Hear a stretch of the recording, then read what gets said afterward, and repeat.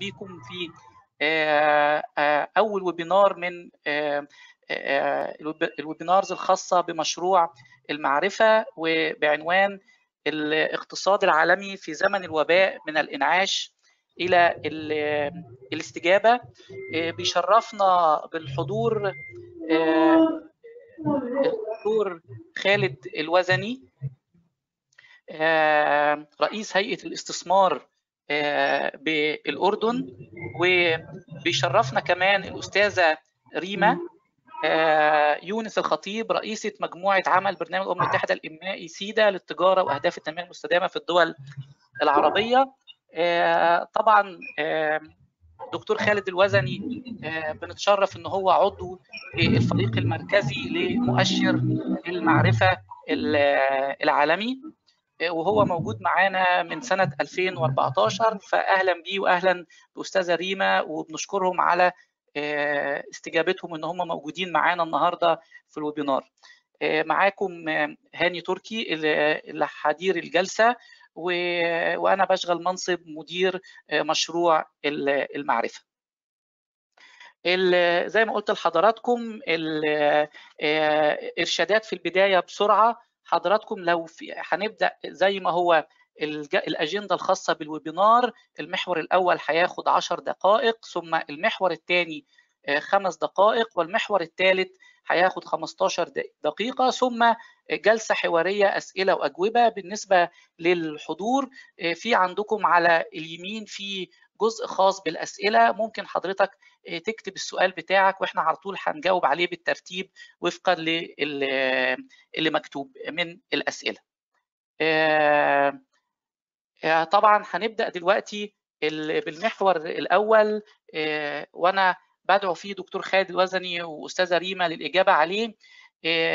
العالم شهد حوالي أو العديد من الأزمات الاقتصادية نقدر نذكر منها خمسة على سبيل المثال أزمة الائتمان في عام 72 واللي أثرت كتير على المصارف في إنجلترا ثم الكساد الكبير اللي هو صنف إن هو أعمق وأطول انهيار اقتصادي في تاريخ العالم الغربي الصناعي ويمكن بلغ وفي ذروة الأزمة في عام 33 كان عدد العاطلين عن العمل في أمريكا بتروح من 13 ل 15 مليون شخص. ويمكن ده اللي كان بيطلق عليه أو أحد أسبابه الثلاثاء الأسود. ثم صدم الأزمة الثالثة أو اللي هي صدمة أسعار النفط عام 73 وكانت الأزمة الرابعة في عام 97 اللي هي أزمة النمور الأسيوية ثم أخيرا الأزمة المالية العالمية اللي هي كانت بسبب انهيار سوق الإسكان في الولايات المتحدة واللي بيعتبرها الكثير من الخبراء إن هي الأسوأ منذ الكساد الكبير الكتير في الحاجة المشتركة أو الحاجة الكتيرة اللي موجودة في الأزمات دي هي عدم التعامل أو أيضا القرارات اللي بتتخذها الحكومات والتي أدت أحيانا إلى تفاقم الأزمات. إحنا دلوقتي في موجودين مع أزمة بسبب الوباء وأثر على الاقتصاد العالمي. فسؤالي لدكتور خالد والأستاذة ريما كيف سيؤثر الوباء أو كيف أثر الوباء على الاقتصاد العالمي والشراكات والتمويل؟ وهل الحكومات هتكون قادرة على الاستمرار في دعم مشاريعها التمويلية والتنموية؟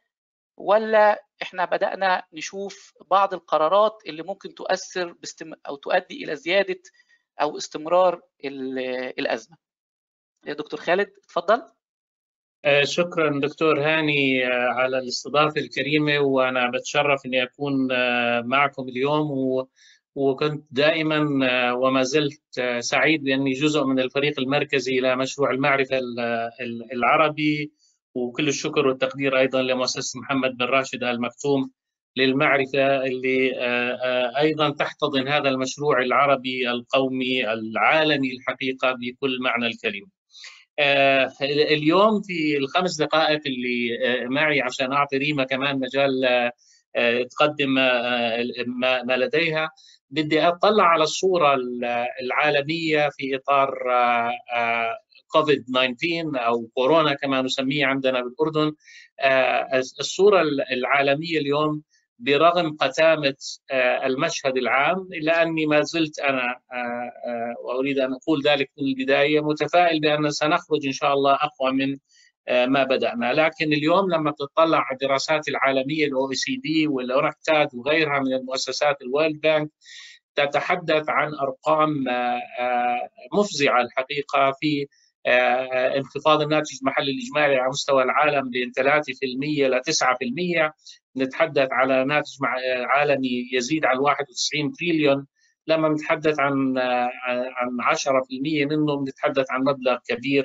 لكن الفروقات هي بين دولة وأخرى بتعاملها مع مع الحدث ونسبه تأثرها فيه. لكن نتحدث بحده الأقل 3% وحده الأعلى حوالي 9 في المية يعني ما يزيد عن 900 مليار في وجهة نظري بالأثر الكلي.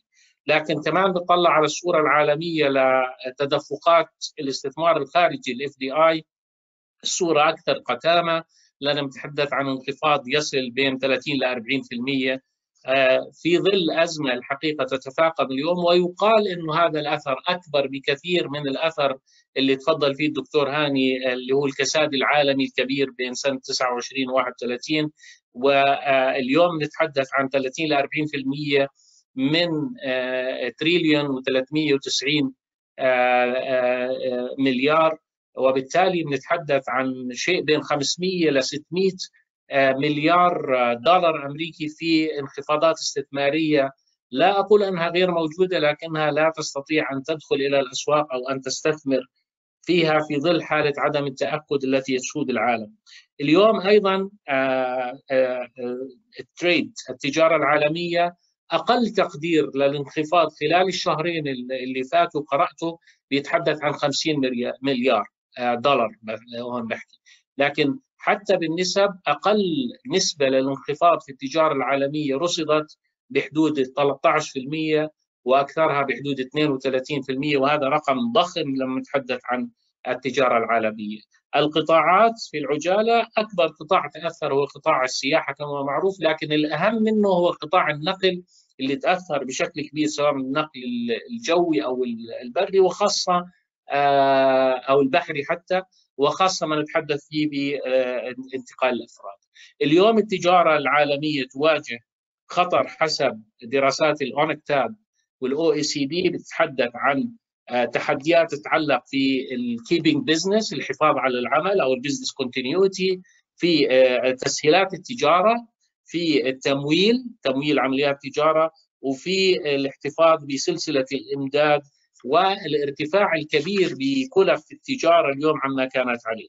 اليوم إحنا كما يقال أمام أكبر جائحة أثرت على تدفقات الاستثمارات الأجنبية وانتقالها بين دول العالم المختلف تراجع عوائد كبيرة في الاستثمارات تصل بين 30% ل 200% في بعض الاستثمارات خسارات كبيرة يمكن شفنا شو صار في موضوع النفط الانخفاض الكبير والوصول إلى أرقام سالبة لشراء النفط في في فترة من الفترات. اليوم الأجل القصير أريد أن أختم بآخر دقيقة أن أقول الأجل القصير واضح أنه الأثر عميق وكبير ومؤثر. نحكي 3 إلى 9% في الناتج المحلي الإجمالي حوالي 40% في الاف دي آي حوالي 30% في التجارة العالمية. لكن الأجل الطويل والمتوسط يعتمد بشكل كبير على استمرارية الأزمة. وعلى عمقها من دولة لأخرى. وأنا بشوف إنه اليوم كل الدول بلشت تتحدث عن إنها وصلت البيك الذروة وبدأت بالانخفاض وبالتالي أنا يعني متفائل إنه الأمور بدأت تظهر بأنها يجب أن تنحسر وأن نتجه إلى استمرارية العمل، أريد أن أختم بأن أقول بأنه التعامل مع المرض وأثره أو الوباء واثره على كل دولة يراعي خصوصية كل دولة والطريقة التي تعاملت معها، اليوم الأردن صحيح من الدول التي تسجل لها نموذج في التعامل مع الأزمة لكن الخوف دائما إنه عودة الأزمة إليها من الخارج من القادمين من الخارج بسبب عدم انتقال المرض إلى العديد من الناس قد تكون أيضا معرضة لمزيد من المشاكل. لكن بكل وضوح أنا أعتقد إنه لا نستطيع أن نغلق الاقتصادات أكثر من ذلك وعلينا أن نتحمل أو أن نتوسع بالعمل والعودة إلى القطاعات الاقتصادية لأن لا نستطيع أن نستمر بهذه الإغلاقات. شكرا. شكرا دكتور خالد. أستاذة ريما لو حضرتك عندك إضافة وأيضا في السؤال إن في العديد من الدول بتعتمد وخاصة الدول العربية على التحويلات التحويلات دي إزاي في ظل الأزمة هتتدفق وبأي مبالغ وإزاي الدول هتتأثر بالأزمة على الصعيد الاجتماعي والاقتصادي. شكرا شكرا دكتور هاني. الحقيقة أنا بدي أتشكر دكتور خالد الوزني على هيدي المقدمة الكافية والوافية. ونحن محظوظين أنه أنا محظوظة شخصيا أنه شارك معه لدكتور خالد بمرة ثانية بإيفنت من مؤسسة محمد بن راشد المكتوم للمعرفة. كان لي الشرف أني يكون معه للأسف بأوقات كانت أفضل. كنا شخصيا في لما أطلق الإندكس تاع النولج وكنا عم نحكي بوقتها ومتفائلين بالتجارة وكيف ستساهم التجارة بتحقيق أهداف التنمية المستدامة. يعني للأسف التقينا بهيدي الظروف لكن كمان مثل ما قال بالتحضير دكتور خالد وزني بأول فقرة حنحط شو هو الواقع والأرقام مثل ما بشكل ممتاز سردها دكتور خالد وزني وحنرجع ننتقل للتفاؤل وحابين نترك الأخوة والأخوات اللي عم بيتابعوا معنا الويبينار مع بعض التفاؤل للمستقبل. في شغلة بحب زيدها الحقيقة باللي عن اللي ذكره دكتور خالد نحن لما عم نطلع عن الأثر تاع الجائحة حيأثر على عام 2020 عبر ست محاور أساسية. أول محور اللي شرحه بشكل رائع الدكتور اللي هو أثره على التدهور والتراجع الاقتصادي. فإذا ستواجه مثل ما قال صندوق النقد الدولي بآخر تقرير اللي طلعه تقرير آفاق الاقتصاد العالمي اللي تم فيه تعديل كافة أرقام النمو. سيكون هنالك واحد تسعة من عشر دول سيكون النمو سلبي. ولكن يتوقع صندوق النقد أن تختلف الصورة بالقسم الأخير من العام 2020 ويتوقع أن تكون الريكفري كثير سريعة. عادة نحن لما بيصير في عنا انهيارات اقتصادية نحتاج إلى حوالي 18 شهر يعني سنة ونص تيرجع الاقتصاد يقلع. لكن صندوق النقد الدولي بيعتبر في حالة سيناريو قدرنا نحتوي الوباء وبالتالي حنقدر نشاهد العودة السريعة طبعا هذا الشيء بيعتمد مثل ما قال الدكتور على شو حتاخذ الحكومة الحكومات إجراءات. آه هذا اولا. آه ثانيا هنالك طبعا آه مخاطر على الصعيد السياسي. هنالك خطر سياسي محلي وعالمي. يعني عندنا domestic political risk و geopolitical risk للمنطقة. على الصعيد المحلي أظن إنه هنالك بعض الحكومات سيكون عليها محاسبة من قبل المواطنين في حال فشلها بمعالجة الوباء أو في حال كان هنالك اعتراضات على الطريقة اللي تم فيها التعامل مع الجائحة والوباء. وهنالك الخطر الأكبر الجيوبوليتكس الجيوسياسي مثل ما شفنا وبس الحمد لله انحلت بين المملكة العربية السعودية وروسيا اللي أثر بشكل فاضح على أسعار النفط واللي هو للأسف منطقتنا غير الأثر السلبي اللي جاي من الوباء عنا الشق الثاني اللي هي انخفاض الشديد مثل ما قال الدكتور بأسعار النفط لوصلت بأمريكا لحدود سلبي. المحور الثالث هو له علاقة ب توقع وجود أسعار فائدة منخفضة جدا جدا حول العالم وقد تستمر مما سيعمل ضغوط على البنوك والمؤسسات المالية. طبعا هذا من ناحية مفيد لإعادة نمو الاقتصاد لكن من ناحية ثانية قد يقدم ضغوط على القطاع المصرفي من حيث القدرة على خلق المال والقدرة على الربح والبقاء والقدرة على تغطية الخسائر اللي حتيجي من الديون المتعثرة لأنه بالحقيقة في كثير شركات لما يرجع تخلص الوباء ما حتقدر تكمل وبالتالي بالرغم من التوقع بالمساعدات الحكومية. النقطة الرابعة الخوف كل الخوف. وأظن حنحكي بمرحلة لاحقة عن ماذا سيحدث على سلاسل القيم. هل هل ستتجه الدول إلى الانغلاق؟ هل سيحدث هنالك منع من أو أو عكس التجاره الحرة أنا شخصيا ما بعتقد هذا الشيء حيصير لأنه بيخسر الجميع وخصوصا لما صار الكساد الكبير. تعلموا أظن الدول إنه اقتصاد منفتح والمحافظة على التجارة أساسي للعودة للانتعاش. الخامس الخامس موضوع الأساسي هي بخصوص التكنولوجيا واللي هو له علاقة الأساسية بموضوعنا المعرفي. حنلاحظ تطورات كبير إن على ناحية ال vaccines وإيجاد علاج. وعم نشوف كيف ممكن يصير اللي ما كان يحدث بسنوات من المتوقع أن يحدث بأشهر بحسب التطور التكنولوجي الرائع والسريع اللي عم بيصير. وأخيرا ماذا سيحدث فيما خص ال economic environmental social وال corporate governance اللي يعترف اللي تعتمد التعبير ESG عليها. هل سنصل إلى مثل ما عم بيطلب صندوق النقد الدولي ورئيسته إنه لما حنرجع نعطي بعد مساعدات خلينا نستغل هالفرصة ونوجه المساعدات نحو الاقتصاد الأخضر نحو الاقتصاد المحب للبيئة. هل حنقدر نعمل هيدا الشيء ولا؟ لأنه back to normal ما بقى. يعني الأرجح أن لن نعود إلى ما قبل الوباء.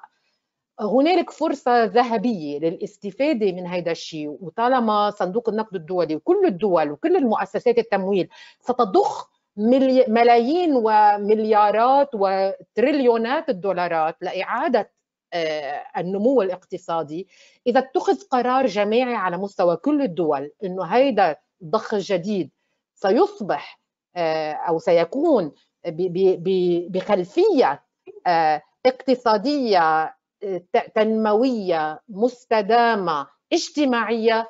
أظن سنصل إلى عالم ما بعد كوفيد 19 أفضل من ما قبل إن من ناحية القدرة على مكا يعني على مجابهة هيك خطر كبير بالمستقبل. يعني الأرجح إنه لما لا سمح الله حيرجع يصيبنا أو يصيب أولادنا في المستقبل ضائقة طبية. سيكون العالم قادر على التعامل معه بشكل أفضل. يعني هيدا على كل حال شعوري إنه حيصير في شغل على هذا الموضوع.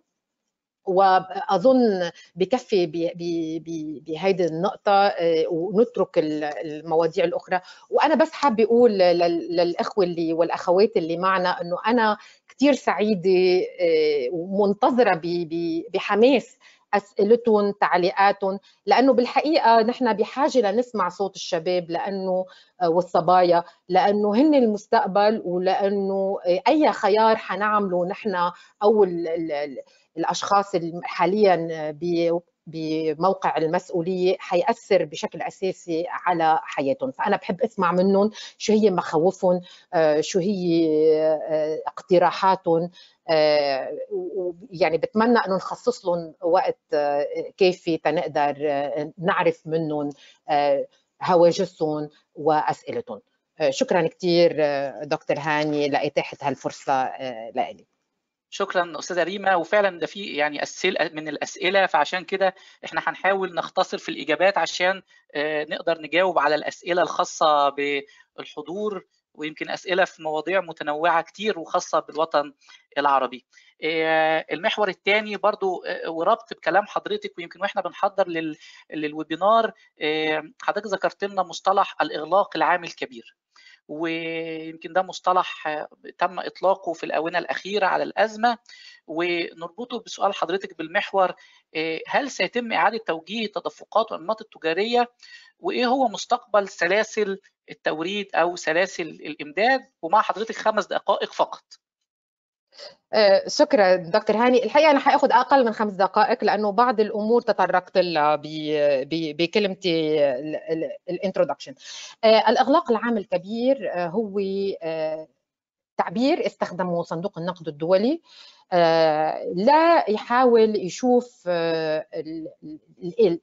ال impact اللي اللي عمله كوفيد على الاقتصاد وقال إنه هيدا أسوأ ركود تعرضنا له من الكساد الكبير. وبالتالي سيتجاوز ما جرى بتداعيات الأزمة المالية العالمية اللي حضرتك ذكرتها من عشر سنوات ومثل ما ذكرنا حيصير في النمو ببعض السيناريوهات حيكون عالميا minus 3% وحيختلف من بلد إلى بلد. بس القليل القليل من الدول ستتمكن إنها تكون تحافظ على الإيجابي. بيناتهم الصين آه، اللي حتقدر إنها تحافظ على نمو متوقع لل 2020 ب 1.2% في حين إنه كان النمو المتوقع تاعها 6 وبالتالي حتنخفض 5% لكن حتبقى بالايجابي ويتوقع إنها تقدر بشكل سريع إنها تقدر تعاود النمو على 9.2% ب 2021 هالشيء هيدا طبعا آه، مبني على آه، سيناريو عملوه صندوق النقد الدولي لأول مرة بيتعاونوا مع آه، أطباء وأخصائيين بالأمراض الوبائية. وبالتالي السيناريوهات اللي وضعوها وضعوها لأول مرة مش بس macroeconomic analysis عم بيكون macro اقتصادي ولكن كان بالتعاون مع أطباء. لأنه الأزمة آه، بأساسها أزمة طبية. وهذا الشيء في حال يعني تمكنا من احتواء الوباء يتوقع أن يكون الانتعاش سريع وسريع جدا. آه، فهيدا شغلي من الأشياء آه، الإيجابية. هلأ فيما خص موضوع اللي اللي ذكرته حضرتك آه، بالتريد فلوز وكيف حيكون في ال future of supply chain إلى آخره في عندنا مشكلة مالية. وهيدي المشكلة المالية ال WTO ال World Trade Organization منظمة التجارة العالمية بالتعاون مع ال IMF صندوق النقد الدولي اجتمعوا من تقريبا ب 24 أو 25 شهر يعني تقريبا أقل من 10 أيام وطلعوا statement مشتركة آه، بيان مشترك طلبوا فيه من كل الدول أن أن لا تضع عراقيل على تجارة المواد الأساسية آه، الطبية آه، أو المواد الغذائية الأساسية وطلبوا كمان من الدول النامية اللي عم بتعاني من آه، قدرة على التمويل لأنه من أحد الأسباب الأساسية اللي حتأثر عليها هيدي المشاكل هي تدهور أسعار الصرف. تدهور أسعار الصرف عند كل الدول اللي ما عندها آه، عملات عملات دولار أو يورو أو ين. اللي ما عنده العملات الدولية تيقدر يمول لأنه التجارة بمعظمها بالدولار الأمريكي. وبالتالي الدول اللي ما عندها القدرة بالحصول على النقد الأجنبي آه، حيكون في عندها غير إنه مشاكل ال export restrictions يعني في بعض الدول عملت آه، منع تصدير. فصار في تذكير من قبل من قبل منظمة التجارة العالمية إنه آه، يسمح بحسب قوانين منظمة التجارة العالمية يسمح بتوقيف التصدير بحالات لما البلد بيوصل للمخزون تاعه للخطوط الحمر فقط. وبالتالي طلبت منظمة التجارة العالمية من الدول استخدام آه، هيدا السماح بتقييد التصدير فقط في الحدود مش مش ليعملوا تخزين فائق عن حاجتهم. وبالتالي إذا صارت البلد عم بيفكر وعم بيترك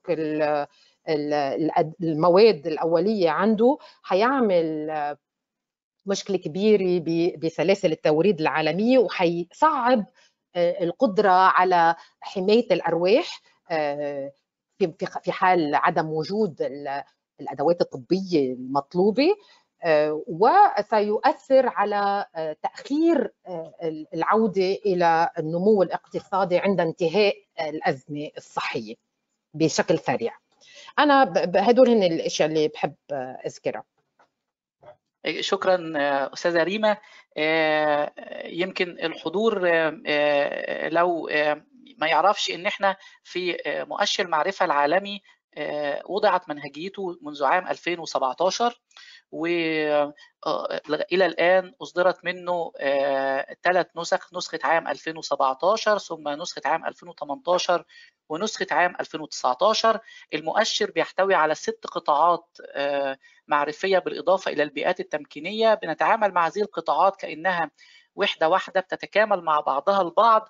ويمكن كتير من اللي اللي بيحصل دلوقتي إحنا واخدينه في الاعتبار في المؤشر عندنا خاصة البنية التحتية التكنولوجية ومدى تغطية الإنترنت داخل البلاد أو مدى كفاءة الحكومة في استخدام التكنولوجيا. وأيضا في قطاع الاقتصاد يمكن دكتور خالد أدرى واحد بيه إن إحنا اتكلمنا على التنافسية المعرفية والانفتاح الاقتصادي والاقتصاد الإبداعي والتبادل التجاري.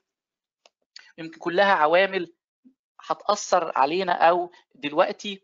فإزاي دكتور خالد مؤشر المعرفه العالمي يقدر يساعد على فهم التأثيرات الخاصة بفيروس كورونا وعلى اقتصاد المعرفة في المستقبل؟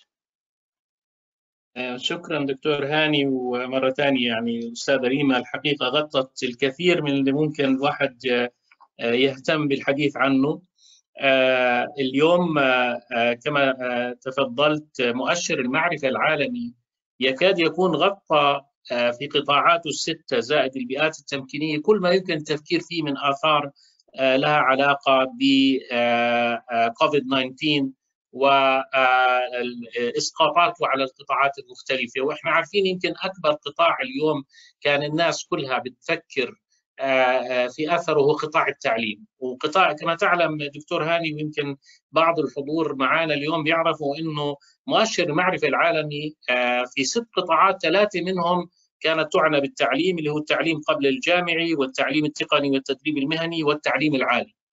فهؤلاء أو هذه القطاعات الثلاثة أنا بعتقد سيعاد تصنيفها اليوم بعد كوفيد 19 خاصة لما نطلع على نتائج الالتحاق أو الإتمام أو النواتج. أو حتى البيئات التمكينية اللي بيغطيها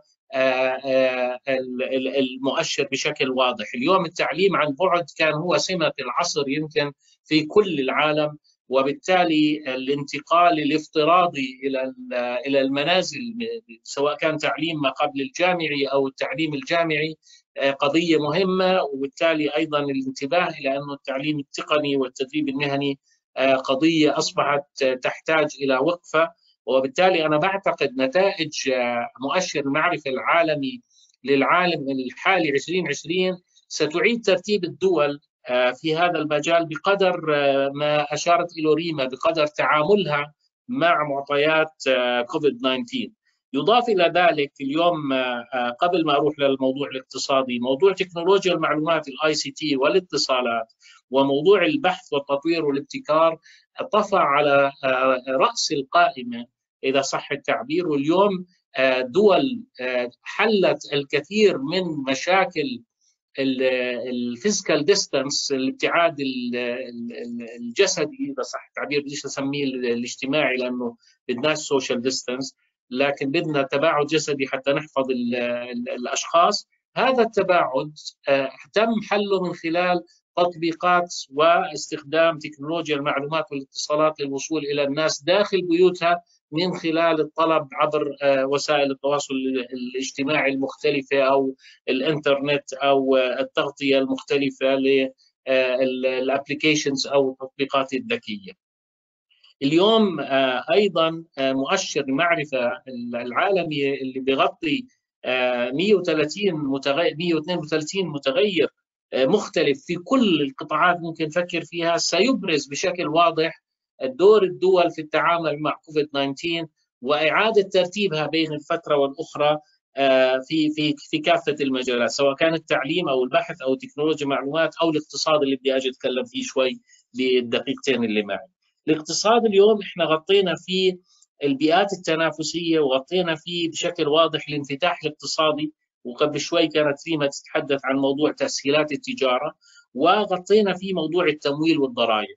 اليوم أنا بعتقد إنه في الموضوع الاقتصادي سيتغير ترتيب الدول وفقا لتعاملها مع تحدي الكوفيد 19 سواء في قصة سهولة مزاولة الأعمال أو إنفاذ العقود أو حتى استقطاب رأس المال الخارجي أو الاف دي اي بالإضافة لموضوع تأثير البيئة العالمية أو التنافسية للدول محليا يعني توسعة الاستثمار المحلي قبل ما تطلع إلى الخارجي حتى وتوفر التمويل المناسب وتدفقات رؤوس الأموال.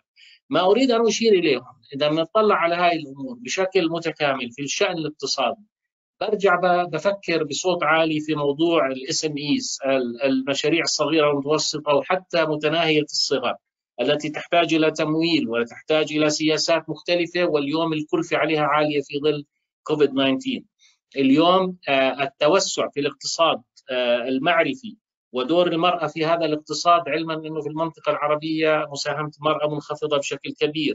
موضوع العمل للحساب الخاص المهن المختلفة اللي غطاها التدريب المهني والتعليم التقني في في المؤشر. موضوع اللي أشارت له ريما في تسهيلات التجارة وأنا حضرت مجموعة العشرين الأخيرة من خلال الاتصال عن بعد لأن الأردن السنة جزء من مجموعة العشرين كضيف دعته السعودية إلى هذه اللقاءات وأنا عضو في لجنة التريد أند إنفستمنت بحضرها باستمرار بمثل الأردن. كان الحديث بشكل واضح عن ضرورة تسهيل التجارة والتبادل التجاري. لا بل إعطاء حوافز إضافية للتجارة البينية بين الدول للتعامل مع كوفيد 19 الخاتمة اللي بدي أقولها اليوم هناك virtual mobility of capital and human being human mentality. اليوم في انتقال افتراضي للقوى البشرية وطاقاتها العقلية والإبداعية وانتقال لرؤوس الأموال افتراضيا عبر وسائل التسويات المالية عن بعد المختلفة. على الدول اليوم أن تنظر إلى نفسها وفق مؤشر المعرفة العالمي بقطاعاته الستة بالإضافة للبيئات التمكينية على أنها قادرة على أن تنعش اقتصاداتها إذا لم تحصر نفسها فقط في مكافحة الأزمة الصحية أو البيئية بل بالعكس عليها أن تعمل على المسار الآخر مسار الاقتصاد وتنمية التعليم والبحث والتطوير وتكنولوجيا المعلومات داخل هذه الاقتصادات. شكرا. شكرا دكتور خالد. يمكن السؤال اللي بيهم الشباب والكثير من الحضور دلوقتي ويمكن ده أنا هختم بالسؤال ده وبعد كده نروح لأسئلة الشباب والخبراء الحاضرين. هل الحكومات دلوقتي بتخطط للحفاظ على الوظائف اللي موجودة عندها ولا هي بس بتخطط للعبور من الأزمة صحيا وإنها بتوجه معظم مواردها للجزء الصحي وعبور الأزمة؟ أستاذة ريما ممكن تردي على السؤال باختصار؟ أجل. الحقيقة الهيدا كان بصلب اللي توافقوا عليه الدول بصندوق النقد الدولي. عادة صندوق النقد الدولي ما بيحب إن الحكومات تصرف أكثر بنسبة معينة. بتحب إنه يكون في يعني عادة لأنه بالحكومات خصوصا اللي عندها مصاريف أكثر من مداخيلها وعندها عجز هنالك على طول نسبة معينة من العجز للناتج المحلي. ما بتحب صندوق النقد الدولي إن الدول تتجاوزه. لكن بتصريح واضح وصريح من رئيسة صندوق النقد الدولي طلبت من كل الدول أن تقوم بالتالي تخفيف الأثر المالي عبر تحرك سريع ومنسق. أولا لدعم النظم الصحية ولتخفيف الآثار السلبية وتخفيض عدد المصابين والوفيات. اثنين تقديم مدفوعات مباشرة للأسر. لأول مرة بتاريخ المنظمات المالية الدولية. هنالك حديث عن ضرورة القيام الدولي إن تعطي مصاري للعالم اللي اللي اللي سمعنا منه حكي من قبل على تعبير الدخل للجميع. لما كنا عم نحكي عن ال fourth industrial revolution لما كنا عم نحكي عن الثورة الصناعية الرابعة وكيف هنالك سيكون اختفاء لعدد كبير من الوظائف وبالتالي حيكون في عندك robots وحيكون في عندك ال artificial intelligence قد يصبح العديد من القوى العاملة من دون شغل ومن الصعب إيجاد بديل وكان التفكير في بيونيفرسال انكم الدخل للكل بحد أدنى ليحافظ على كرامة الإنسان. يقدر ياخذ المسكن ويقدر يحافظ يقدر يعمل الأكل الأشياء الغذائية. الحقيقة عم نشوف هلأ كل دول معظم دول العالم حتى العالم الفقير اللي كان بحياتهم ما يعطوا ما كان عندهم هالسوشيال سيفتي نتس عم بيتدخلوا وعم بيعطوا مدفوعات نقدية للاسر الأكثر فقرا ولقينا بعدة دول مثلا مثل الفلبين عطيوا لكل العالم. ما ما كان عندهم القدرة الإحصائية إنه يشوفوا من هو الأكثر فقرا إلى آخره فعطيوا للكل.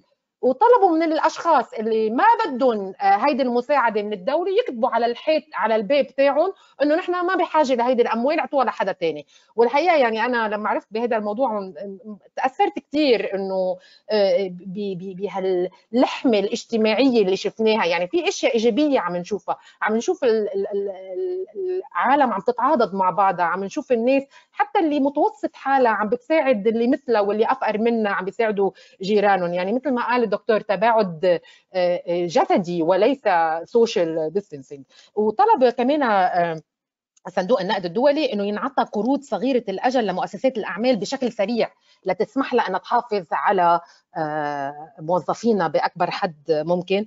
لكن الحقيقة هيدا الشيء مفيد للاقتصادات اللي عندها إحصاءات اللي بتقدر تعرف طب شو بنعمل بالأشخاص اللي بيشتغلوا بالقطاع غير الرسمي؟ بالأشخاص اللي بيشتغلوا على الساعة بالهدول اللي هن أكثر فقرا أصلا. كيف بدنا نوصل لهم؟ يعني هون مشكلة كبيرة مشان هيك لازم يكون في تعاون مع الحكومات مع المؤسسات الأهلية. لازم بعدد بعدة محلات نجحوا بس لكن برضه يعني نحن هنالك توقع مثل ما قالت الاي ال أو إنه من 3 مليار عامل بعيد العمال طلعوا الخبر إنه للأسف نص هذه العمالة هي بخطر. نص نصف 3 مليار عامل ممكن يخسروا وظائفهم على المدى القريب. هل حنقدر نعيد النمو الاقتصادي بشكل يرجع يعيد هيدي الوظائف. الحقيقة هيدي big question mark يعني بدنا ننطر لنشوف كيف حتتطور الأمور بدنا نشوف كيف الحكومات حتتصرف وكيف حتكون صحيح ال IMF رئيسة ال IMF قالت ادفعوا ادفعوا ادفعوا ادفعوا قد ما بتقدروا شوي أكثر ما بتقدروا لكن قالت شغلة كثير مهمة خلوا الوصولات. يعني keep the receipts لأنه نحن كمان شفنا بحالات سابقة في ناس غير مستحقين يأخذون هذه الأموال إما لقربهم من من أشخاص معينة في السلطة وتصل لا تصل الأموال إلى الأشخاص المستحقة. هيدا خوف كبير. هيدا خوف كبير بيرجعنا لموضوع ال good governance وبيرجعنا لموضوع المسؤولية الاجتماعية وللفساد وللشفافية وللمواضيع أخرى كثيره شكرا. شكرا أستاذة ريما. قبل ما نجاوب على اسئله الحضور أنا حابب إن أنا أشكر التيم الخاص بمشروع المعرفة أنتوني فخوري وستيفاني اللي هم تعبوا في موضوع ال content وتحضير لل webinar وسيرين وديانا في الجزء الخاص بال communication وتحضير الجلسة. فبشكرهم جدا على مجهودهم معانا. وفي بناء على كلام حضرتك وبناء على كلام دكتور خالد الوزني الشباب العربي قدامه فرصة كبيرة لما بعد كورونا إن سوق العمل هيبقى مستعد أو مستني الشباب الجاهز اللي هو يقدر إن هو ينافس ويجد مكانه في سوق العمل لأن سوق ال ال ال الوظائف هتكون ممكن تكون نادرة ولكن بتتطلب مهارات معرفية عالية ودي فرصة للشباب العربي إن هو وهو دلوقتي قاعد في البيت يستغل الوقت وإن هو يتعلم أكتر وإن هو يجهز نفسه أكتر لما بعد كورونا. أول سؤال جالنا من الحضور هل ستقوم الشركات باستغلال الأوضاع الحالية وتقوم بتقليل النفقات على حساب الأعمال وتقلل المخاطرة بالتمويل بناء عليه ده سؤال دكتور خالد اتفضل في البداية يمكن لاحظنا إنه هذا سؤال مهم ليش؟ لأنه اليوم العالم انتقل مرة أخرى لدور جديد للدولة في ظل الجائحة، إذا لاحظنا كل دول العالم الرأسمالية والاشتراكية ومهما كانت مدارس الفكر التي تتعامل معها تدخلت في السوق بطريقة أو بأخرى وقامت بفرض قواعد جديدة للتعامل مع العمالة وللتعامل مع آليات العمل. لا بل تدخلت حتى في حرية انتقال رأس المال بالفوائض النقدية في البنوك وما شابه. أنا قناعتي نعم رأس المال في الآخر سيبحث عن وسائل لتخفيض الكلف المختلفة خاصة إذا استمر التوقف. وهون تيجي كما أشرت أنا قطاع السياحة اللي تأثر بشكل كبير واللي سيؤدي يمكن زي ما حكت الاستاذه ريما إلى فقدان وظائف بشكل كبير، لكن أنا بعتقد أيضا هون بيجي دور الدولة في مثل هذه المراحل. الذي يجب عليها أن تتدخل لمنع تغول رأس المال على على العاملين بمفهوم أن لا تهضم الحقوق ولكن أيضا أن يدعم رأس المال ليستطيع أن يستمر. يعني بدنا نوازن بين انه رأس المال كمان لا يستطيع أن يدعم الأفراد بشكل كامل وإلا سيفلس ويغلق وفي نفس الوقت العمالة بحاجة إلى دخل يمكنها من العيش والاستمرار وهون بيجي دور التدخل الدولة في وضع التوازن المناسب لاستمرار الحياة. ويمكن زي ما حكت الأستاذة ريما إحنا بحاجة لسبل لإنعاش الاقتصادات وعودتها للعمل وليس حجزها وراء البعد الصحي فقط. أنا بقول ما بصير إنه يعني يصبح الاقتصادات رهينة من يصاب بالكوفيد 19 بعد ما يتم اتخاذ طبعا كافة الإجراءات لمنع انتشار الوباء بشكل أو بآخر. في سؤال دكتور خالد جاي لحضرتك مخصوص وأرجو الإجابة عليه سريعة جدا من سؤال دكتور خالد هل كان أمر الدفاع رقم 6 محفزا للاقتصاد والمستثمرين خاصة الجميع يتحدث عن ضرورة زيادة الإنفاق؟ سريع جدا السؤال ده مخصوص للأردن. يعني أمر الدفاع ست عمل شجون كبيرة في الاقتصاد الوطني. لكن أنا بعتقد هو اجتهاد من الحكومة لضبط السوق واعتقد أن الحكومة الآن تعالج بعض الآثار السلبية التي فهمت من القرار واللي بيجبر المؤسسات على دفع الرواتب بنسب معينة أو الإغلاق بنسب معينة. أنا بعتقد تم إعادة النظر في الموضوع ولن يؤثر بشكل سلبي إن شاء الله. okay أستاذة ريما كم سيدوم تأثير الوباء على الاقتصاد؟ يعني هيدا سؤال المليون دولار اللي اللي بيعرف الاجابه يعطيني ست أرقام للوتو. الحقيقة هيدا بده تنجيم بده تنجيم لازم حد ينجم بالموضوع صحيح ليك الحقيقة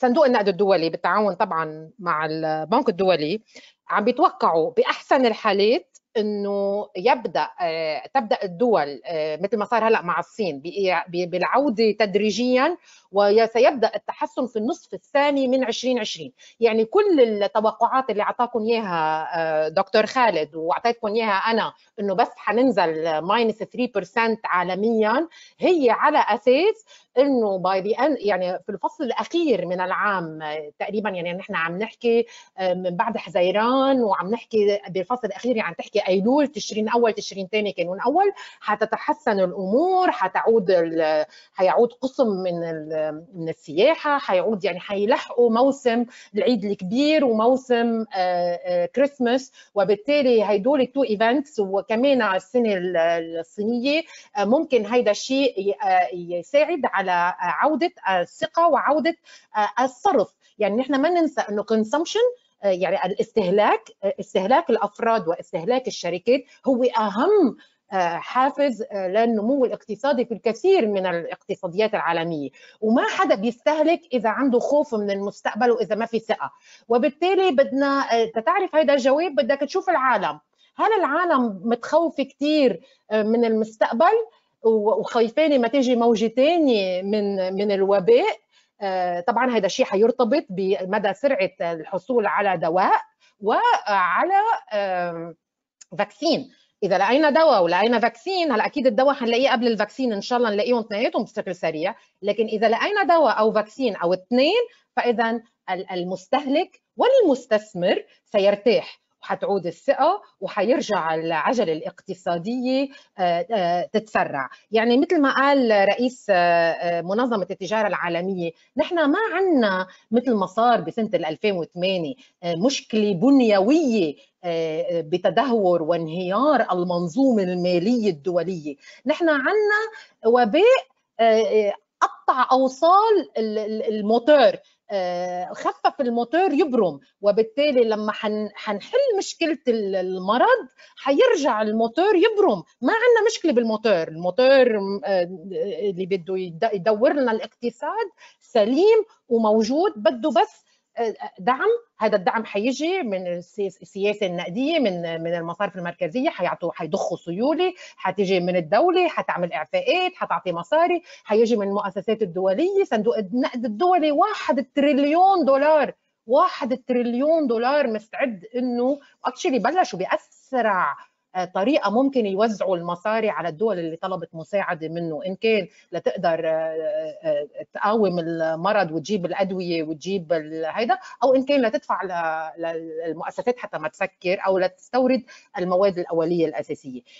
كله أي متى بنقدر نرجع نفتح. أمريكا بلشت أكيد الصين بلشت أمريكا عم بتبلش. نحن مبدئيا بالشرق الأوسط متوقع إنه من هلأ لحزيران تدريجيا معظم الشركات تفتح حيبقوا مانعين التجمعات الكبيرة والكونفرنسز وإشياء. لكن متوقع إنه من ابتداء من حزيران حيكون في القدرة على التحرك بشكل أوسع القدرة على الإنتاج القدرة على يمكن السفر حتفتح ترجع تعيد المطارات. هذا كله بي بيتأثر هل حيجينا إصابات إن شاء الله؟ لا جديدة أو تمكنا من احتواء المرض. لما يصير في احتواء للمرض آه، التوقع النمو حيكون دغري بالسمستر اللي بعدها شكرا. شكرا. آه، طبعا أنا شايف في أسئلة كتيره عمالة تيجي ولدرجة أنا مش عارف إذا كنا هنلحق نجاوب على كل الأسئلة دي. والأسئلة جاية من فريق شباب المعرفة في الأردن وفريق آه، المعرفة في مصر. إحنا بنشكرهم جدا على حضورهم وتفاعلهم معانا يعني. وإن شاء الله تفضلوا كده دايما آه، متفاعلين معانا ودايما تأدوا دوركم في المجتمع الأردني والمجتمع المصري. السؤال اللي جاي خاص بالعملات. واللي هو ماذا بخصوص أسعار صرف العملات والتحول للعملات الرقمية وما هو تأثير الأزمة على سلة العملات دكتور خالد؟ في في عجالة آه، عشان الوقت. آه، أنا مش مقتنع إنه الحديث إنه هناك نظام عالمي جديد للعملات وفي تخوف وفي في رهبة من من الانفكاك عن عملة جديدة. اليوم ما زال النظام العالمي النقدي ما زال قوي. نعم هناك دور مهم للعملات الافتراضية والتبادل على المحافظ الإلكترونية وما شابه. هذا صحيح لكن هذا لا يعني أننا آه، دخلنا الآن في نظام آه، نقدي جديد بقدر ما أن دخلنا بآليات تسويات مالية جديدة. نعم يمكن دخول اليوان الصيني إلى إلى حزمة ال SDR حقوق السحب الخاصة في ال IMF هذا شيء جديد صحيح لكن هذا لا يعني أننا انتقلنا بسبب كوفيد 19 أو كورونا آه، إلى آه، نظام عالمي جديد فيما يتعلق بالنقد والتسويات المالية، التحويلات ستبقى كما هي، العملة الرئيسية أنا في رأيي في الأجل المتوسط آه، والقصير سيبقى الدولار ولكن طبعا التحولات المستقبلية نعم ستغير من هذه القضية ولكن ليس الآن بسبب كوفيد 19 اننا أمام نظام نقدي آه، وإنما أمام آليات تسوية جديدة نعم. آه، في سؤال برضو ما هو سر قدرة الدول على إعادة الثقة لنفسها ولاقتصادها؟ هل هو إعادة الانفتاح الكامل للاقتصاد؟ هل التغيرات الإيجابية في الطبيعة وقدرة الأرض على الاستمرار على الاستمرارية بالإنتاج وبكميات أكبر ستقلل من الدخل من التضخم وهل هنالك فرصة للدول بأن تحصل على حصص الصين من الإنتاج بسبب تغيرات في سياسة بعض الدول وبالأخص أمريكا دكتور خالد؟ والله عايزه ريما تجاوبها لكن خلينا أقول آه نعم آه إحنا آه هنسمع دكتور أستاذة ريما بعد حضرتك. طيب آه آه خلينا أقول باختصار كلمتين. حسن إدارة الأزمة. يعني الإجابة كلما استطاعت الدولة أن أن تحسن من إدارة الأزمة تستطيع أن تخرج بخسائر أقل، أنا متفائل من أجل ذلك لأنه اليوم العالم قرر أنه سيتعامل مع هذه الأزمة بحدية وبشفافية عالية وأن يخرج منها. يعني كل العالم قرر أن يخرج منها وقرر أن يستمر في التجارة والتبادل التجاري وتسوية العلاقات. اليوم الأردن مثلا 80% من احتياجاته الغذائية من الخارج لا يستطيع أن يغلق على نفسه وهذا الأمر لكل الدول حتى الصين 97% من حاجتها من الطاقة من خارجها. وبالتالي اليوم العالم كله يعمل كخلية للخروج والعودة للانفتاح. مرة ثانية لن يقبل العالم أن يكون كوفيد 19 هو يأخذ الاقتصادات العالمية كرهينة ويمنع الحركة والتجارة الخارجية. أستاذة ريما تعقيب حضرتك؟ إيه شكرا. الحقيقة أنا اللي بدي زيده إنه طبعا كان في تخوف بالمراحل الأولى من الأزمة لما بلشت الدول تطلع وتكتشف إنه هالاعتماد المفرط على الصين لما سكرت الصين وكان بعدنا ببداية الأزمة يعني بعدنا عم نحكي نحن بجانيوري فبروري كانت العالم مش مفتكرة إنه هيدا حيتحول لوباء ولا يروح لكل العالم فإنه الصين بعيدة إلى آخره. أول ناس حسوا بال impact هن الناس اللي بتصير معظم عملياتهم آه، الإنتاج بالصين. فحسوا قديش آه، آه، في خطر نحن على طول بنقول diversification نحن على طول بنقول إنه ما تحط كل ال eggs بسلة وحدة. وبالتالي آه، في هنالك يعني حيصير في هنالك نقذ من الاتكال بشكل مفرط على مصدر واحد. لكن هل هالشيء حيؤدي إنه عن ولا ممكن الدول خصوصا دول مثلنا مثل الأردن المتوسطة والصغيرة انه يكون في عندها self-sufficiency يعني اكتفاء ذاتي كثير كثير كثير صعب الدول العديدة يمكن دولتين بالعالم تقدر تعمل اكتفاء ذاتي. الصين أكيد يمكن إلى حد ما الولايات المتحدة الأمريكية وأوروبا إذا بناخذها كلها ك EU كبلد واحد.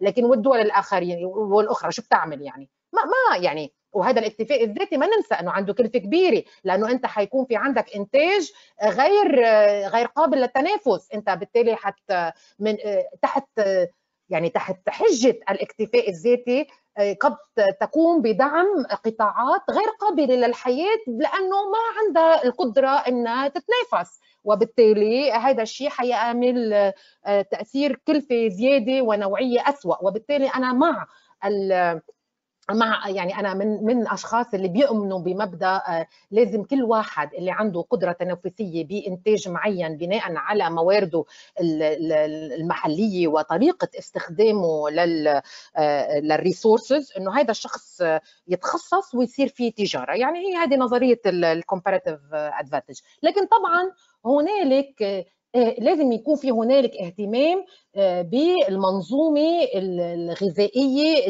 الأمن الغذائي. يعني for food security لازم يكون في عندي مخزون معين من القمح من السكر إلى آخره. والحقيقة آخر تقرير طلع إنه الحمد لله الحمد لله العالم آه، المحاصيل الزراعية هيدي السنة كثير منيحة بتكفي لكل العالم وبتزيد. ويمكن كمان تزيد لأنه ما حيكون في إنتاج آه، صناعي بيتطلب هيدي الأشياء الغذائية وبالتالي ما عندنا مشكلة. فإذا الدول ما بلشت تسكر وكل مين يخلي كل المخزون عنده وحافظوا على السلسلة السلسله الغذائية ما عندنا مشكلة. وأنا هون بس بحب أذكر إنه في آه، ب 22 ابريل هيدا الشهر آه، بال WTO بناء على طلب كندا صار في circulation ل statement طلعوها أبرز المستوردين والمصدرين للغذاء بالعالم وعملوا pledge يعني عملوا عملوا ما بعرف. شو اسمه بالعربي يعني اتفقوا وحطوا حطوا commitment إنه نحن من بنمثل 63% من الصادرات الزراعية والأكل وال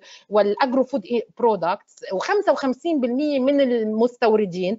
آه، نقول أننا لن نأخذ أي إجراء يعيق التجارة. وسنحافظ على آه، سلاسل الإمداد. ولن ولن ولن يكون هنالك تذبذب بالأسعار. ولن يكون هنالك أي نقص وسنساهم بالمحافظة على الأمن الغذائي للدول. كافة. هدول الدول أستراليا البرازيل كندا تشيلي كولومبيا كوستاريكا الاتحاد الأوروبي هونغ كونغ تشاينا جابان كوريا ملاوي مكسيكو نيوزيلند باراغواي بيرو قطر سنغافور سويسرا تايوان أوكرانيا UK الولايات المتحدة الأمريكية والاورجواي هيدا pledge عملوه ب ب 22 أبريل الماضي إنه ما حيكون في خوف ما حنسمح إنه يصير في أمور حمائيه وحطوا ليستا بال products اللي ما ما حيأثروا عليها وعملوا reference لل market monitor ال agriculture market information system AMIS اللي هو بي بي بيفرجي إنه الحمد لله global commodity بتكفي ما حيصير في عنا أزمة غذاء فوق أزمة بس طبعا الدول الفقيرة ما حيكون عندها مصاري. لتشتري وبالتالي هنالك جهد كبير لازم يصير مع ال DCs لنقدر نأمن لهم الغذاء المطلوب. شكرا. شكرا أستاذة ريما. أنا في أسئلة كتيرة جاية الجلسة متسجلة وتقدروا تحصلوا عليها. سيرين زميلتنا هتبعتها لكم إن شاء الله بعد الجلسة وتتبعت تبقى موجودة متاحة لحضراتكم. في سؤال جاي. إيه هي المهارات اللي إحنا المفروض نتعلمها دلوقتي عشان نبقى مستعدين لسوق العمل؟ في مهارات كتير منها مهارة استخدام التكنولوجيا مش استخدام التكنولوجيا اللي هي الفيسبوك وتويتر لأ المهارة التكنولوجيا المعرفية إن أنت ممكن على سبيل المثال أيضا مهارات اللغوية مهارات التفكير النقدي مهارة حل المشكلات مهارة التفاوض كل الحاجات دي مهارات هتبقى مطلوبة أو هي مطلوبة فعلا لسوق العمل في المرحلة الجاية. في سؤال جاي إن هل تعتقدون أن العالم استطاع إدارة أزمة الوباء أم أن الصدمة كانت أكبر من استيعابه؟ دكتور خالد لا بالضرورة اللي إحنا بنشوفها على أرض الواقع هناك قدره على الإدارة. و... و... وأنا بعتقد ليش إحنا متفائلين؟ يعني ليش بنقول إحنا اليوم من دخلنا الإنعاش ولكن طالعين إلى الانتعاش لأنه أنا بعتقد كل دول العالم كانت جادة في التعامل مع الوباء واليوم أنا بعتقد إنه يمكن زي ما حكت أستاذة ريما في مع منتصف هذا العام ستبدأ الدول إما بشكل في تعود بسرعة أو بشكل يو تعود بشكل أبطأ ولكن الجميع سيعود إلى العمل حتى مع وجود تبعات بسيطة للوباء هنا وهناك. في سؤال هل قرارات بعض الدول مؤخرا بالتعايش وإنهاء الإغلاق التام سيساهم في الحد من تداعيات كورونا مع العلم أن ذلك من الممكن يؤدي لزيادة عدد المصابين وفي هذا الإطار هل يعتبر هذا القرار صائب دكتورة ريما؟ يعني الحقيقة العودة للعمل ضرورية مثل ما قال دكتور خالد وزني لكن العودة للعمل بشكل سيف يعني مثلا بشكل تدريجي وبالإبقاء هذا كل بلد له حسب القدره الاستيعابية للمستشفيات. يعني بالنهاية نحن بعدم وجود الشغلتين اللي ذكرتهم دواء وطعم نحن بدنا نتعايش مع الوباء. كيف نتعايش مع الوباء بالعودة التدريجية؟ يعني قد نعود إلى العمل لكن نحافظ على ال physical distancing وبالتالي مثلا نحن بلبنان شو عم نعمل؟ عاملين shifts وعاملين بشكل إنه عدنا إلى العمل ولكن عم نحاول قد ما فينا إنه نكون مستعملين الأشياء اللي الحمائيه إن كان عبر الكمامة أو إن كان عبر غسل اليدين أو إن كان عبر عدم التجمع بشكل قد يؤدي إلى انتشار الوباء. هيدي من ناحية أولى. من ناحية ثانية عم نزيد عدد الفحوصات وبالتالي طالما وزاره الصحة عم تقدر تراقب تطور وعم تقدر تاخذ الإجراءات المناسبة لانها تكون قادرة تستوعب زيادة الأعداد ولما بتصير واصلة لما بقى قادرة تستوعب زيادة الأعداد ساعتها بترجع بت يمكن تاخذ إجراء تباعد أكثر أو إعادة إغلاق إلى آخره.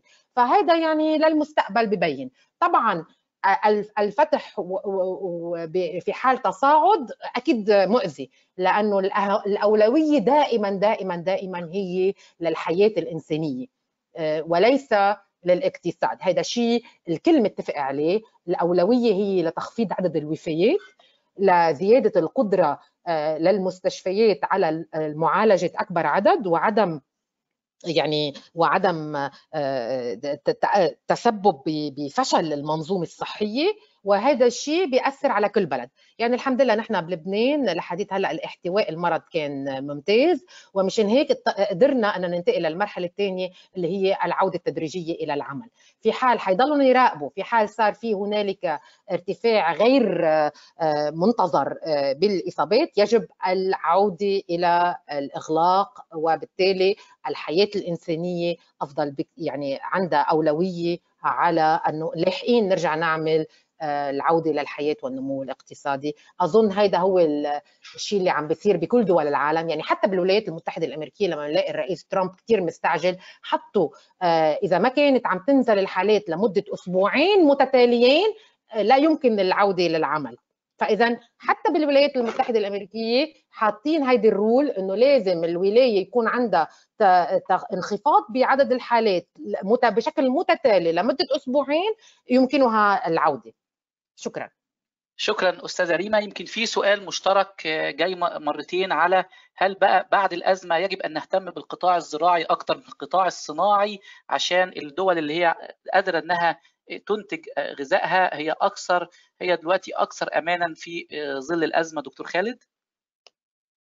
بالضرورة لا طبعا الأزمة أوضحت أهمية قطاع الزراعة بمفهومه الشامل. لما بحكي على الزراعة الثروة الحيوانية السمكية الزراعة التقليدية ولكن رابط هذه القطاع مع قطاع الصناعة هو الأساس. يعني القطاعين لازم يشتغلوا مع بعض. لكن لازم نعي دائما ليش العالم ما بيقدرش يغلق على نفسه؟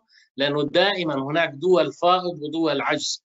وبالتالي التبادل التجاري يجب أن يبقى مستمر الاهتمام بالزراعة آه، شيء جيد لأنه نحط القطاع على مستوى أعلى مما كان عليه في السابق لكن هذا لا يعني أن القطاعات الأخرى غير مهمة بل بالعكس قطاع الخدمات اللوجستية اللي بيخدم التبادل التجاري ونقل الزراعة وتحويلها إلى آه، أغذية أو مواد غذائية كلها هاي تشتغل مع بعضها لكن مرة أخرى قطاع الزراعة أصبح على رأس القائمة وله أهميته أكيد.